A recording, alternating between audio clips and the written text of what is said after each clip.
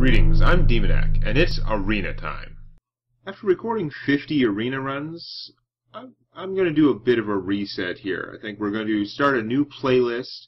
I'm going to go a little bit more back to basics in terms of the discussion of the tactics and stuff like that, trying to help out some of the new players in the game.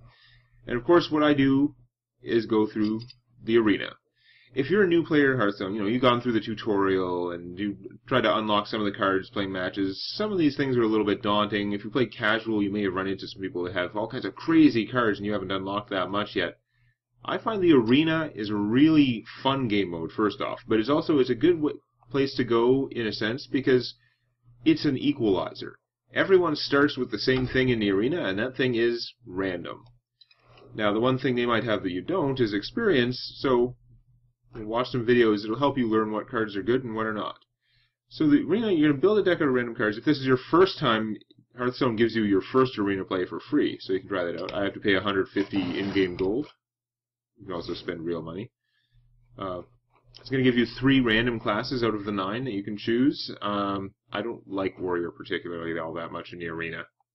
Kind of find them horrible in the arena. So I'm going to take the Druid. Druid is pretty good class. And it starts you, it give, you're going to get all these sets of three cards to choose from. And you're going to get a rares are built in at your first cards, your 10th, 20th, and 30th. So you're going to get at least four rares to choose from. Each one is like a row of three that you can choose. And going into it too much, I'm going to take the Gadgetzan Auctioneer just in case he becomes crazy later. But yeah, as you go through, the other cards are all random. You can get some of the your, some of them might be your class cards, other ones will be neutral cards, and some of them might some of them might be extra rares or even legendaries and epic cards. But let's see. I'm going to take out of these guys. I don't like the Wisp very much because yeah, he's free, but he doesn't do a whole lot for you. Like your card is giving you a very small minion, a one-one that. I mean, some people's hero powers can take that out. My as a druid, I've got the power like once per turn I can pay two mana, give myself plus one attack and one armor, and I could just attack and kill the wisp, not take any damage. It's pretty weak. I'm gonna take the Stormwind Champion. It is big. He's fairly expensive. You don't want to fill your deck with too much expensive stuff. But expensive stuff is good. It's very strong in the arena. The Shield Bearer eh, he can stop some stuff, but he's not great on his own because yeah, he'll he'll eat a couple enemy attacks. They have to attack the minion with taunt first, but he doesn't do any damage back, so he's not wearing down or killing the minions that are attacking him unless you have some way to buff him.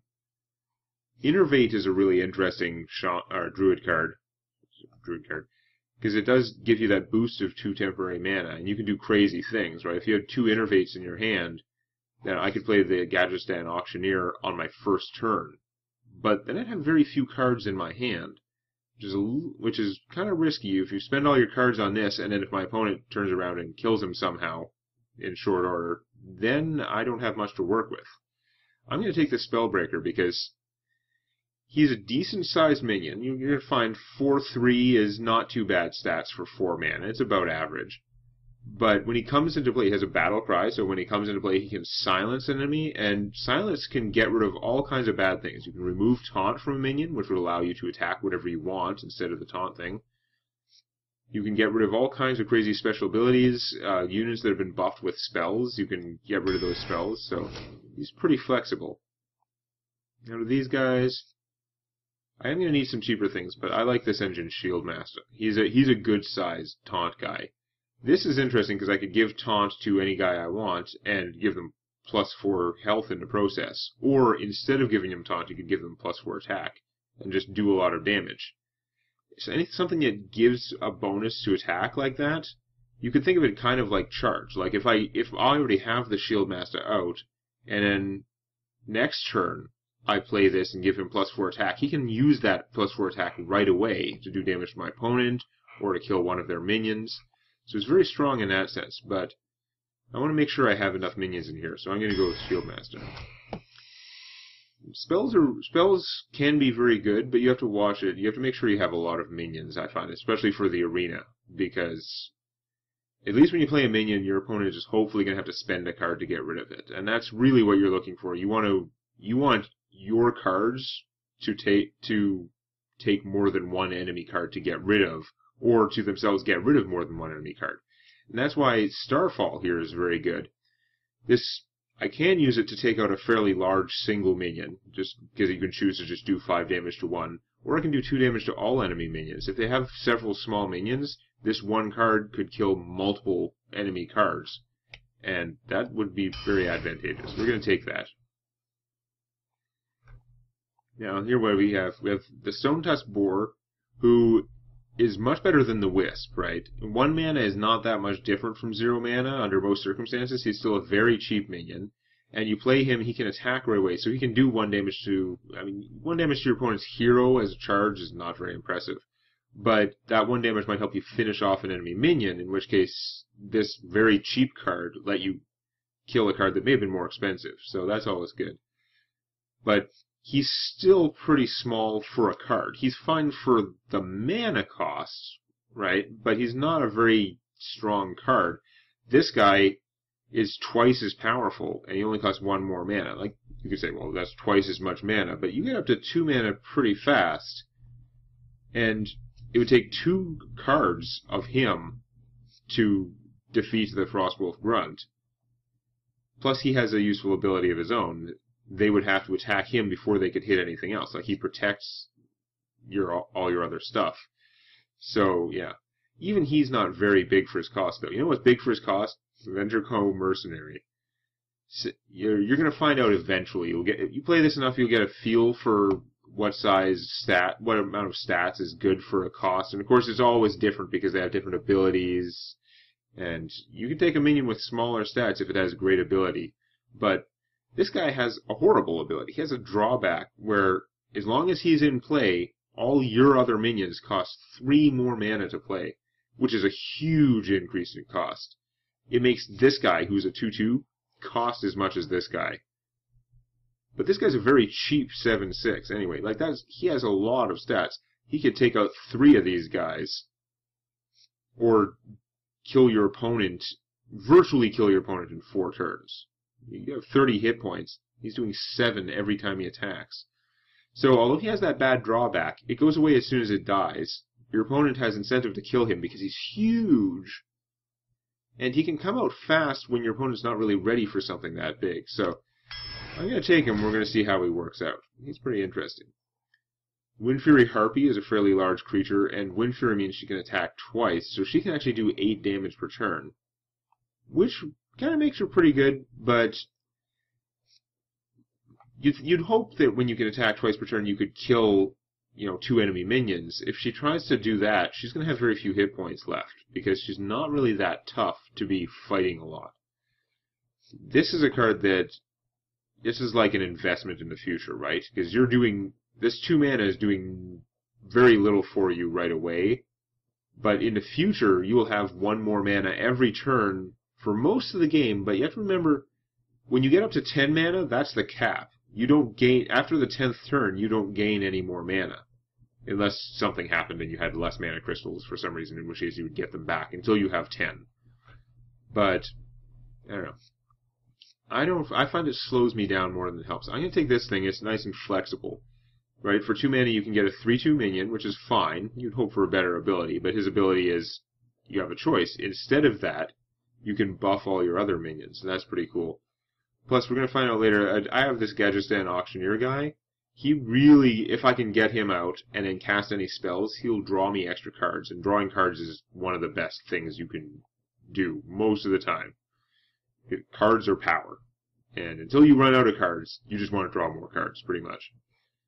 So this is, even if I play him for a minion, it still counts as a spell, which would trigger his ability if I happen to have that out. So I'm gonna I'm gonna take this. It's it's just a nice flexible card. Priestess of Elune, her stats five four for six mana is not that big. It's not horrible, but it's not that big. She does restore four health to your hero, but that's a, that's a perfectly fine ability. It's not that great. Stormpike Commando's ability to do two damage to anything you want when he comes into play is awesome, but for five mana, he's very fragile, right? It t- very takes very little to actually kill him. If he if he doesn't get killed, he can do a lot of damage to your opponent, and he did get to blow something up when he came into play. But I think I'm going to take the Ancient Brewmaster. He's got a weird drawback that is actually a lot of the time an advantage, right? Five four is above average stats for four mana. For four mana, you expect kind of four four, about eight points of stats. He's got one more than that. When he comes into play, you have to return. I, I have to choose one of my other minions and return it to hand. If I don't have any other minions, his battle cry just fails, so he had no drawback. If I ha- have any other minions, that's a drawback. But remember, if if this if I had this guy out and then he took three damage blocking something, I could return him to my hand, and when I play him again, he'll have his full health again. So that's pretty good on its own. But then you get stuff like if I had him and I returned him to my hand, when I played him again, I would get his battle cry again. And there are a lot of good battle cries in the game that make this guy strong, even though I don't have any in my deck yet. So I'm going to try and hurry this up a little bit. I'm starting to get the idea there. This guy, he's kind of like the other rifleman. I find that he's a little bit too expensive for what he does, but still doing one damage when he comes into play is pretty good. This guy has charge, so even though you know, he's a little bit defensive stat wise, he still he comes into play and he can attack right away. So you can think of him kind of like a spell that does two damage to a minion, but is more flexible than that. Because he can do two damage to a minion, maybe kill that, and quite probably survive because he's so tough. This can give taunt to anything I have though, and it's plus two plus two, which again I can use that to attack as well, right? I think I'm going to take this to go along with the cards I have. I need to get some cheaper minions though. This bar down here is showing this bar graph is showing I have zero cards that cost zero mana, zero cards that cost one mana. I've got a couple that cost two, a few that cost four and five, and even a seven cost card, which is pretty expensive. But I have no, I, I don't have that many two cost cards. I've got no threes. I need to get some cheaper stuff in here, or I'm going to have a lot of turns of not being able to play a card. So the Emperor Cobra can kill anything, although it usually dies because it only has three hit points. But if you use him to kill something big like the Stormwind Champion, you're very happy with that trade. I think I'm going to take the Bite, because it lets me kill something without losing one of my minions in the process. I have to use my hero, so if I'm attacking something big, I might take a whole bunch of damage from it, but it also gives me 4 armor to reduce that, so it's pretty good. That Murloc I passed up, Murlocs tend not to be very good in the arena, because you need a lot of Murlocs, and they kind of work together. You have very little chance of getting that many Murlocs when all the cards are random like this. Another chance at Wild Growth. I'm actually, I don't normally take Elven Archers, I'm going to take an Elven Archer because I need some more cheap stuff to play early in the game. You can take another Spellbreaker. The Raid Leader could be good, but he's really not that great unless you have three or four minions out. You're going to find that a lot of the time, you're trying to kill all the minions your opponent plays, and your opponent's trying to kill all the minions you play, and usually you don't end up with that many things on the field for most of the game. I don't have any weapons. The battle, Bloodsail Raider has a battle cry that triggers off your weapons. If you have a weapon out, then she becomes huge for her cost. But even without it, she's two three for two mana. That is a that's a normal amount of stats for two mana, right? Five points of stats. But two attack and three defense works out pretty well for fighting other things that cost one or two mana. So I'm tempted because I'm so badly short of low cost cards now, I'm only a third of the way through my deck, right? I got 30 cards. This is number 12 that I'm choosing now. So I do have time to try and get some more cheap things. Maybe I can find better. You know what? I'll try this. Take another Spellbreaker and see if I see what comes up. I'm not. Sometimes I would take the Stormwind Champion, but I have a lot of four and five cost things in here. I'm more worried about getting the inexpensive stuff, the cheaper things. So I could take the Raptor, who is quite cheap, three two for to, you know, he's pretty straightforward. He hits hard, but I think I'm going to take the Flesh Eating Ghoul. He costs a little bit more, and you know, he has the same stats as that other 2-3 that only cost 2 mana. But whenever any minion dies, mine or my opponent's, he's going to get bigger, and that is really going to help sometimes. Uh, often he'll get killed off. Your opponent prioritizes things that grow like this. Sometimes he just, a bunch of things die and he goes crazy and becomes like seven attack or something. Speaking of crazy, I'm going to take the Savage Roar card. Because it says give your characters plus two attack. So characters includes all your minions and your hero.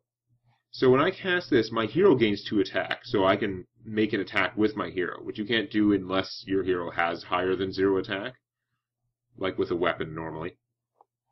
But it also is plus two to all my minions, so if I have two or three that can attack, that's like six damage, plus I can do another two. So that's pretty fantastic in the right circumstances. I'm going to take the Druid of the Claw. He's a great card because he's flexible, right? You have that choice. You can take charge and do four damage right away, which will often help. Usually you take plus two health and taunt because that's a very large taunt creature for the size and pretty reasonably costed. So here, I've gotten an extra rare. Like, normally you get one at like 1, 10, 20, and 30. This is the 15th card, so it's actually an extra one. And he's not good if you don't have other Murlocs. I'm going to take the Twilight Drake. If you get him early in the game, this thing can be very large for the cost, because it gains health for every card in your hand. Now, if you get him later in the game, it might be smaller. That's the risk I'm willing to take. Healing Touch gives you a lot of health for one card, but I don't like putting in cards that only gain me health. Because the thing is, this isn't really affecting the battlefield. If I'm getting my face beat in by my opponent because they have a bunch of stuff out, and the card I draw for the turn heals me 8, that's slowing them down, but they still get their whole turn to do stuff, and they still, it didn't kill anything they had in play. It didn't improve my situation at all. Now you can't. It's this is restore eight health to anything. So if my Stormwind champion had taken five damage, I could heal him back up to full, which is pretty good. But overall, I don't like cards like this. I'm gonna take the Silvermoon Guardian because Divine Shield often means it's gonna take two actions from your opponent to kill this guy, right? They're gonna have to do some amount of damage to him once to take out the shield, and then they have to do three damage to get through his hit points. Okay, Wrath is a very good card. It's inexpensive. You can do 3 damage for 2 mana, which is pretty decent just for killing something. Or, if you can get away, if you only need that 1 extra damage, you can do that and draw a card to replace it, which is fantastic. Drawing cards so good. Um, you know what? I have so much expensive stuff in my deck, I think I'm going to take the Innervate.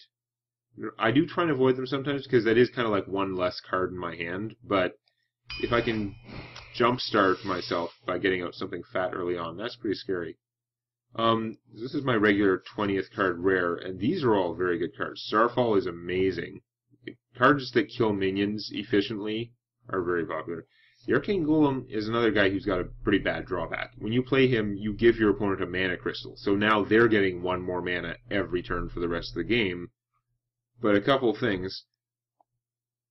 First off, you're getting four attack for three mana. You can use that with charge. He gets to attack right away. So you can do four damage to a minion or four damage to your opponent as a surprise for relatively little mana. That's pretty good.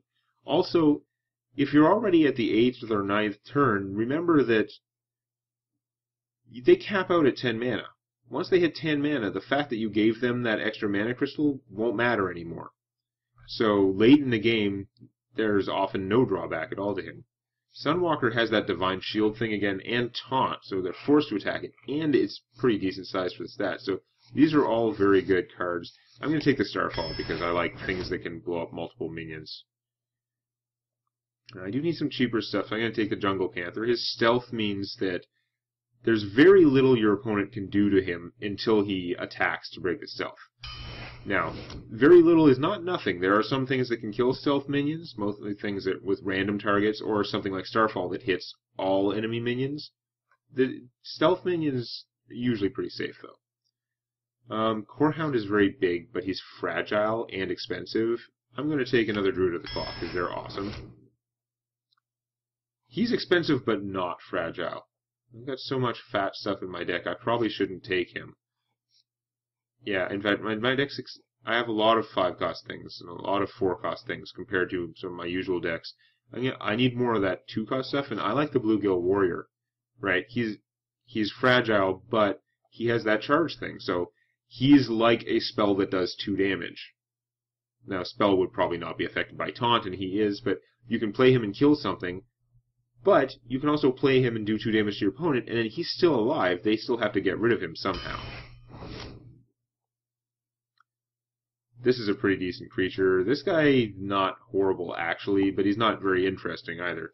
This gives me two minions for one card, really. And together they have 3-2 worth of stats, which is pretty decent for 2 mana. So I'm going to go with that, even though I don't have a Murloc deck. I don't have things that buff Murlocs. Knife Juggler is very good. Master Swordsmith is also pretty good. He buffs your other things every turn, although he himself is not very large, so it's a bit of a trade-off. I think I'm going to take another Gadgetzan Auctioneer, though, because he can draw me more cards. And I have, like, I have a fair number of spells in here. Not too many, but it's starting to get up there. We're going to try that anyway, even though I, I probably should have taken the Knife Juggler just because my deck is slow. And you know what? Since my deck is slow, uh, this guy's a little bit too fragile. He can attack twice per turn, so if you have a way to buff it, it's pretty good.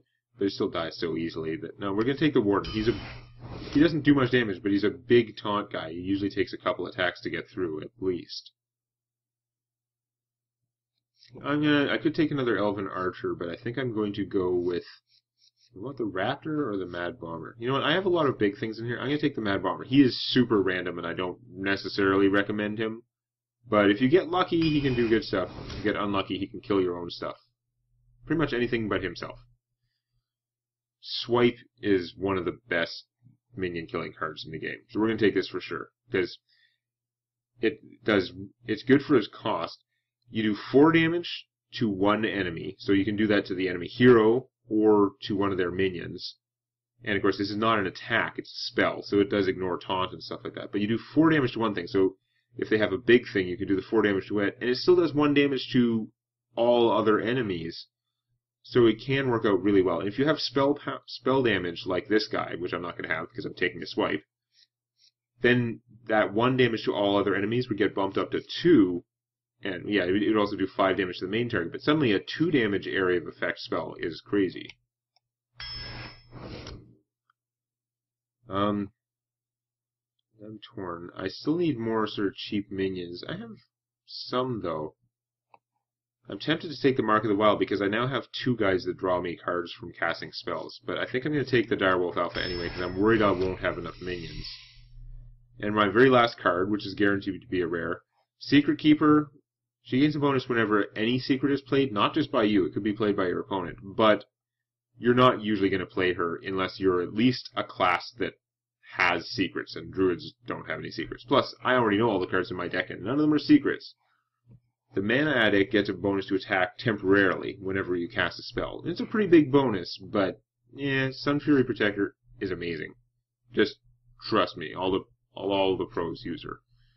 Two three for two is still really good stats, like I mentioned way back when, but she gives taunt to up to two minions, like the ones on either side of her, and you can choose when you where you place your minions. You put them in between two other minions, and that's a that's really advantageous a lot of time. So now we've got our deck together. I could you can take a look at it some more, but we're just going to get to playing because I've taken much longer than usual. Normally I go faster in my videos, but we're just putting this at the start of the new playlist and just explaining a little bit more what I'm doing. I actually always talk a lot while I'm playing and explain what I'm doing to the best of my ability, but just at least for the next couple videos, I'm just going to pay a little bit more attention to the fact that some of you are newer to this. And I know a lot more, a lot better what I'm doing now than when I played my first arena runs in the very first videos. Although you could go back and check out my learning curve there. there lots of videos. So here's where you can choose the cards that you'd rather not have in your starting hand. I'm going to get rid of him for sure because I want to get some cheaper things, but I don't have I have hardly anything I can cast here. I'm going to get rid of the bite as well. I'm going to keep him because I don't want to have no minions in my starting hand, and he's a pretty good four cost thing to play. I'm going to keep this because if I get something else cheap, I can put it on. But I'm going to get rid of two cards and hope I can get some cheaper minions, and I did not. So I might be in trouble here. I do get the coin because I'm not going first. Going first is usually considered better. If the coin feels like it's better, you're going to find out it's not really. I'm going to end my turn here. Because that had nothing I could do. I could have co- used, used the coin to get the bonus mana temporarily and cast this. I don't think it'd be worthwhile. Especially mages can wear down your creatures, so I don't want to spend too much resources on that. But this I am going to play Power of the Wild, and I'm going to choose. See, a lot of these Druid cards give you a choice. I'm obviously going to choose the Panther because I don't have any other minions to give plus one plus one to, so it would have done nothing that way. Is a perfectly decent sized creature for two mana. The mage can kill it in two turns with her ability without even using any cards. Now, I can sort of do that with my druid ability, but I would probably take damage in the process, because it's giving me one armor every time. That's like one more hit point. But it's probably not enough. Um, so this, I can't target this with any spells. If I had enough mana to cast Starfall, I could do two damage to all minions and it would kill it. But I can't attack it either until it reveals itself. Hmm. So what I'm actually going to do is I'm going to use my coin now. And I'm going to play the Twilight Drake. The earlier I play this, the better, because it's getting that health for every card in my hand. So, for only 4 mana, it's coming out as a 4-6. That's huge for 4 mana. 4-5, still pretty good. At 4-4, you're like, okay, that's it's not a bad creature for 4 mana, but it's not great, because you can get a 4-4 with an ability for the same cost. And of course, if you have fewer than four cards in your hand when you play this, it comes out kind of weak.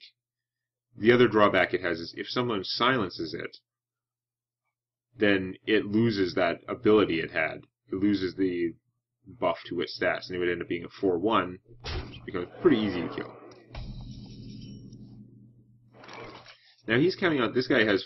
I have to attack the one with taunt. I can't attack anything until this guy is dead, basically. And he's counting on the fact that I would have to use both my guys to hit him before I could get to the Panther. But I could do something extra because I have the Dire Wolf Alpha here. It gives plus one attack to the minions on either side of it. Oh, look at that. Now this guy does five damage. He can kill that in one shot. Which means that my Panther, which is less good than his Panther, is going to be able to get at that. Kill it. I still have two mana left. I could play this, but I don't want to play this unless I'm playing it on something that's about to attack, or unless I desperately need taunt. Neither of those things is right true right now. So I'm going to use the two mana with my ability here and attack. You get your ability back every turn. It costs you some mana, and you can only use it once per turn. And they're not as strong as cards. But every turn you don't use this, you're kind of losing like a fraction of a card. Like I, I tend to say it's like a third of a card. And again, you want to be as card efficient as possible. So a lot of times, some of the classes, the class, like uh, the druid and the shaman, are the shaman and the paladin. They want to use their ability every chance they can. In a way, you you got to make sure you are in control of the battlefield. But every time they use it, they're getting an extra thing on the battlefield. Uh, like a paladin or a totem, and that helps them out a lot. Okay, this guy becomes exceedingly dangerous if he takes any damage without dying.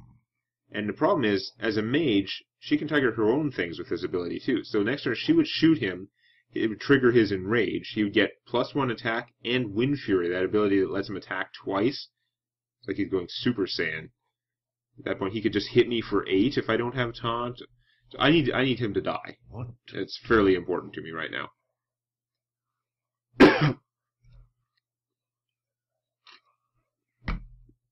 yeah, this guy doesn't do three damage very well. I could buff him, but I mean it will go away when he dies, and he would die taking three damage, even with plus two plus two.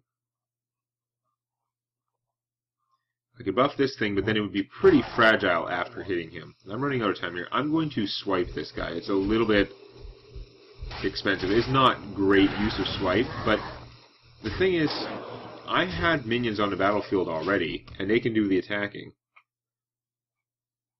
And it's really valuable if you can just keep control of the battlefield, where you're the only one who has stuff that can attack. That's the position you want to be in. There's an extra risk. Sometimes you don't want to play too, too many of the things. It's a very hard balance, because sometimes you're like, oh, I would have won if I just played all my guys. Other times, you're like, oh, if I just saved a couple things in my hand, then when the mage did four damage to all minions, which is probably going to happen next turn, then I would have been okay. So what to do about that guy? Yeti's a very solid creature. His stats just work out really well for the cost. He's pretty hard to kill. I have six mana. Now, one thing I'm thinking of is I could give Mark of the Wild to this guy. He'd be a 6-5. Then I could kill the Yeti. That would leave him with only one health, which the mage could just shoot. I could also give him taunt and attack the mage, which would mean that the Yeti couldn't get to me unless this guy died in some other way. That's always risky because you don't know what your opponent might have to just blow up your minion and ignore it. So you can't really count on your taunt as much that way, but sometimes it's worth the risk. I'm going to give it a try here. Because it's going to let me do a lot of damage. Like, she's already down to less than half health. But also, I have all these other taunt things in my hand, so I'm going to play this guy as a backup. I'm definitely not worried about her, the Yeti hitting me this turn. Now, because I have two taunts, she can choose which target to attack. She can only choose targets that have taunt, so if I had another minion, it would be pretty safe. Just like I'm pretty safe from being directly attacked by minions. But it does give her a bit more control of the situation. When this guy was the only one with taunt, it was the only thing she could attack. But now, see, Flame Strike is what I was worried about. Doing 4 damage to all my minions. These guys were so tough that they survived, and because I made that guy bigger, she ended up trading her Yeti for it, which is great for me. I'm happy with that. And now that one less Flame Strike, she could have a lot of Flame Strikes though. It's a common mage card, so in the, in the arena, you really don't know. She could have got no Flame Strikes, which would have been unfortunate. She could have got the chance to have five Flame Strikes, but chosen other cards most of those times, or all of those times. But she also could have potentially gotten gotten lucky and had five Flame Strikes come up and taken them all. And it would be really hard once she got up to seven mana to ever get any attacks in on her. For now, though, I'm not too worried about that. I'm going to attack her there. I'm going to play the Shield Master. He's pretty good with the taunt. And I'm going to Shapeshift, my special ability here. Hit it for one directly. I could play this, but I'm not going to bother. Any area spell would kill her, like, by accident.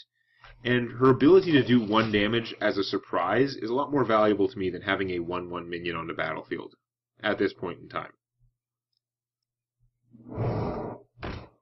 Ooh, see the Kudo, I passed up, Kodo, sorry. I passed up one of those, and yeah, he destroys a random enemy minion that has two or less attack. If I didn't have anything that had two attack or less, he couldn't have killed anything when he came into play, just as like a bonus. There was no way he could kill this, but since I only had one thing that qualified, it wasn't really that random. He knew exactly what it was going to kill. Which is too bad, because I wanted to bounce that guy with my Brewmaster, replay him, and get all his 7 health back. But my opponent is at 10 health, which means I probably want to go for her. Now, I can't Starfall her directly, because the drawback it has, it has this great ability like that you can choose. You can blow up a big thing, you can blow up a whole bunch of small things, but it only affects minions. Unlike, there are some spells you can hit the opponent directly with, that's not one. But I'm thinking yeah, I should be more just attacking her. I don't even think it's worth using this to blow that up. Although, having control of the battlefield is pretty good. I could do that, hit for three, and play this, which would be more things. I I think I might just do that. You know, I kind of said I wouldn't want to do. Five damage is enough to kill that in one card. She has a lot of cards in her hand. I'm a little bit worried about that. But for now, I'm going to do that. Play the Tide Hunter.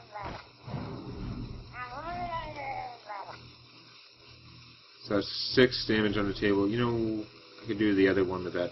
I think I'm going to shoot her with this. It's potentially a waste of card. There's all the same things that applied last turn apply now, but I'm getting her down so low that I'm hoping this might help me. If she doesn't have an area spell, if she's just trying to individually kill these things, it gives me just a little bit more chance that I can get her low enough to finish her off. That's going to end it, though. This guy's pretty neat, because when anyone, or sorry, when the, when the, the owner of it casts any spell, it deals one damage to all minions, including itself. He's a crazy pyromaniac. If she cast one more spell, it would kill him. But, oh, interesting. Okay, so I'm gonna first off I'm gonna cast the Mad Bomber. He he targets randomly anything but himself. So even though he's doing three damage, there's a good chance that he will completely miss the uh, the pyromancer and split the damage between me and my opponent. He can do all three damage to me. Now, as it happens, he spread it out to all targets evenly, which is kind of weird, but fine by me. Uh, I think I am going to now. Yeah, he doesn't do quite enough damage for me. I, I want more. So I'm going to return him to my hand, which means he can do his ability again. I'm not going to use it right away though, because he'd probably split the. There's odds are he'd be hitting the panda, I'd be hitting me, maybe do one damage to her if I was lucky. Even if he did three, it wouldn't kill her. It's not worth it. But now I have a bigger minion in play. I'm just going to use my Kung Fu, which is what I usually call it. Yeah, it's giving attack and defense. It's like, wow. But no. A little damage. Now she has to kill this or put out a taunt or something, or else I'll just kill her with my panda. Those are big, impressive minions, and they do absolutely no good because no matter what I get, I can just attack and win. All right, so that is my first arena match with this deck. Now, fun thing about the arena, you pretty much just keep going until you win. Uh, there may be a, it may cap out at 12 wins. I don't know if they ended, I don't know if they changed that after beta, but regardless, you can, you can basically keep going as long as you keep winning, but you get three strikes and you're out. You lose three games, then you're, it ends your playthrough of the arena, and then it gives you rewards based on how well you did. Now, if you start playing your first times, you you might find it very hard. It's not easy to get up to even three wins, which would be breaking even, because some people have a lot of experience in here. But I got my first win, and I'm pretty happy with that. So, you want to see how much farther I can get with this deck? You have to find out next time. If you found that useful or entertaining, or if you enjoy cookies, hit the like button. And don't forget to subscribe to Demonac Games for more Hearthstone Arena and other gaming videos.